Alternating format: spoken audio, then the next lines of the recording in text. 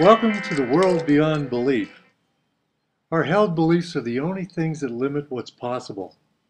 Conversely, beliefs are the very things which allow us to expand our possibilities.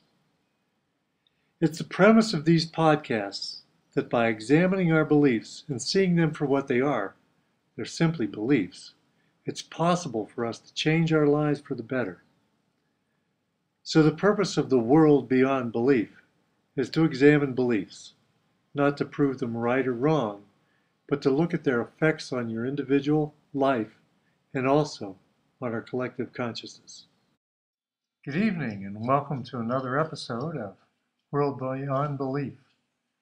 I'm your host, Paul Marko, and with me tonight, as always, is my lovely co host, Mindy Erkin. Hello, everyone. It's going to be an exciting talk tonight because we're going to talk about aliens. And really, since we don't know much about aliens, the talk is really going to be about your managed beliefs about aliens. Do you believe in aliens? What do you mean, aliens? Before we start to rummage through this massive amount of information, misinformation, observations, calculations, and frauds, let me express a bias that Mindy, or, Mindy and I have going into this. Uh, we don't believe in the left-right paradigm. Uh, neocons, liberals, they're all uh, part of a larger system that's controlling us. We're being controlled.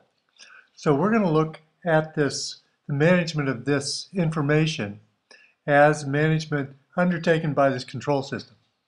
I think it's best expressed by my favorite stand-up philosopher, George Carlin.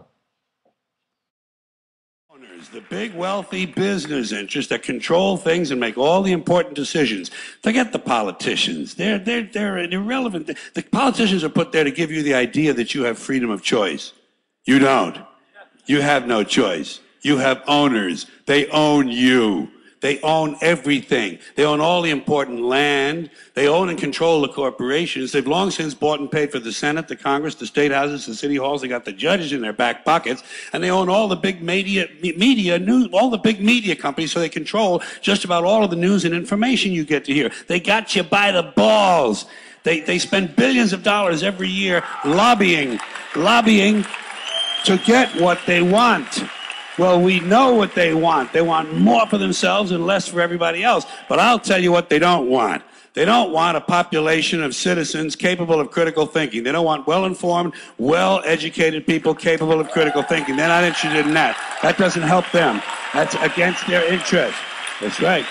You know something? They don't want people who are smart enough to sit around the kitchen table and figure out how badly they're getting fucked by a system that threw them overboard 30 fucking years ago. They don't want that. You know what they want? They want obedient workers. Obedient workers. People who are just smart enough to run the machines and do the paperwork and just dumb enough to passively accept all these increasingly shittier jobs with the lower pay, the longer hours, the reduced benefits, the end of overtime, and the vanishing pension that disappears the minute you go to collect it. And now they're coming for your social security money. They want your fucking retirement money. They want it back so they can give it to their criminal friends on Wall Street. And you know something? They'll get it. They'll get it all from you sooner or later because they own this fucking place. It's a big club, and you ain't in it. So, with this in mind, I believe that our information regarding this subject, the information that was given to us, has been tightly controlled for the benefit of the big club. Uh, some people call them the 13 families. Some people call them the order, the big club, the elites. And this club is planning something big using UFOs or extraterrestrials. I think that's going to materialize in the near future. It might even be materializing now because in March there were two things that happened that pointed to uh, let's start looking at the skies. Let's get more interested in UFOs. And it really motivated us to get together and do this podcast. Uh, the first one, I don't know whether anybody's noticed this, but uh, over in Ukraine, they're spotting this huge um, what people are referring to as a UFO. But apparently, this thing that everybody's seeing and has been on YouTube in a thousand videos is an American craft. The U.S. is taking responsibility for building this UFO, and it's quite an amazing thing. Mindy's got some information from the Turner Radio Network. Okay, I'm going to read just a few excerpts from this article from the Turner Radio Network about the U.S. deploying a new Sky Dreadnought over Ukraine. The United States has deployed a spectacular new military asset in the skies over the Ukraine. The craft made its presence known on March 6th in broad daylight, and it so baffled media and local residents they called it a UFO. The Sky Dreadnought is the most advanced military weapons system in the history of human existence. Nothing on the face of the earth can even come close to comparing. The ship, a long cigar-shaped craft, is almost 3,000 feet long, about the length of three aircraft carriers.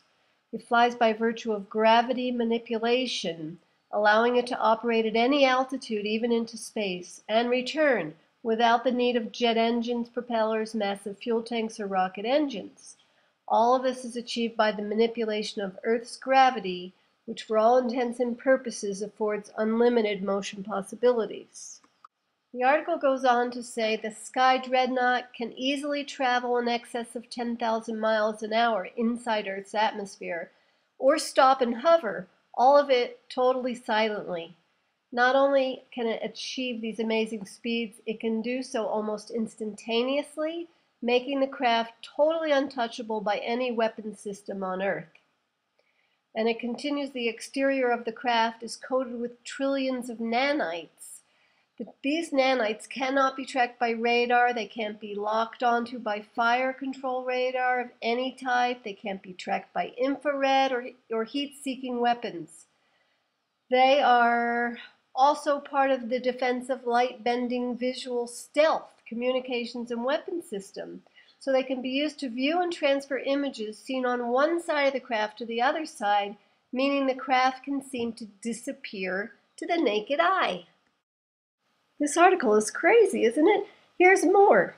All of its weapons are a type of pulse plasma beams, which, seen by the naked eye, appear to be bluish white, focused bolts of lightning. The weapons operate 360 degrees vertically and 360 degrees horizontally without any blind spots, so nothing can escape the craft's weapons, and no man-made object on Earth can withstand being hit by the beams. Metal turns molten, melts in seconds. Concrete is reduced to powder instantly.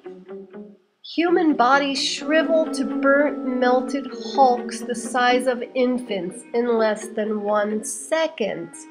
Wait a minute, is this like, can you believe you're hearing this? Yeah, okay, now let's, let's take into account that this wasn't released by the mainstream media. It came out in this network feed. Right, so we, we never know what we can believe and what we can't, but let me read just a few more highlights Oh, yeah, well, from the no. I wasn't saying not to believe it. Yeah, It's targeted for an audience that isn't the American public. But go ahead. oh, that's true. If attacked, the systems on board the craft can engage a staggering number of threats simultaneously. Literally, thousands of attacking targets can be wiped out of existence before they even get close to the craft. The craft has the ability to attack any target from horizon to horizon, no matter the altitude of the craft. Given this ability, there isn't a weapon on Earth that can can be launched at or used against the dreadnought without the attack being detected and destroyed. And then it goes on to say, and this one I kind of find hard to believe. Making the craft all the more amazing is that once its weapons are used, the area in which they were used is completely safe to enter. No long-term radiation or other health hazard exists. This being the case, the craft can go in, utterly flatten an entire country, and the area it conquers will be ready for repopulation and redevelopment by the United States immediately after the confrontation. Right. And you know where they keep this thing? It's stored, it's based under the ocean in an undersea base. That's amazing. Oh, but here's how the article finishes, and I, I think this is the most amazing part. An American world order. You've heard of the United States of America? Get ready for the United States of Earth. There will be a new world order, and it will be American. The presently existing nations of the world. These aren't my words, this is from the article. The presently existing nations of the world have proved themselves uneducated, petty, and barbaric. They have lost the right to be sovereign, independent states, as will be displayed shortly in Crimea once Russia misbehaves too much and is utterly humiliated when battle begins. The one world government that's been in the works in the UN will suddenly turn out to be American because the rest of the world will have no choice. And I would say, comma, Mr. Putin. right. Well, that is what Yeah. they do. They, I, I heard this in, um, I can't remember the where I heard it, but they show each other their latest, most devastating Yeah. weapons, just to you know hold them at bay so they won't Right. attack. Look, if you attack, don't bother because this is what we have. Right. But but you know, at the same time, letting the uh, Russians know how how tough and how barbaric our weapon systems are. Um, it also tells the public all over the world who reads this particular network that free energy is here. They have anti-gravity machines. That, that that machine didn't use anything like oil or gas or anything. So the very thing that the ruling families, the order, the elites, the Rockefellers have been keeping, have been using to keep us under control is this shortage of oil and shortage. Now, you know, are they going to let it out? What's going to happen? Are, are we going to allow, be allowed to have this technology, or are they going to come clean about keeping technology from us century after century, or decade after decade? I guess. Yeah, it'll be interesting to see how this plays out. Well, I saw this in conjunction with um, a funny little clip from uh, the Jimmy Kimmel show, where he was interviewing uh, pre- ex-president Bill Clinton, you know, Hillary's husband. And here's how it went. it someday, I wouldn't be surprised. I just hope that uh, it's not like Independence Day, Yeah, right. that it's a, you know, a, a conflict. Well, now we have friendly Maybe the only way to unite this incredibly divided world of ours. They're out there. We better think of how all the differences among people on Earth would seem small if we felt threatened by a space invader. That's the whole theory of independence. You're right. You're Everybody right. Everybody gets together and makes nice and To me, this sounds amazingly familiar to a statement that was made repeatedly by Ronald Reagan during the 80s, where he's talking about how wonderful it would be, the alien invasion, to unite the planet. I couldn't help but one point in my discussions with privately with General Secretary Gorbachev, when you stop to think that we're all God's children wherever we may live in the world, I couldn't help but say to him, just think how easy his task and mine might be in these meetings that we held if suddenly there was a threat to this world from some other species from another planet uh, outside in the universe.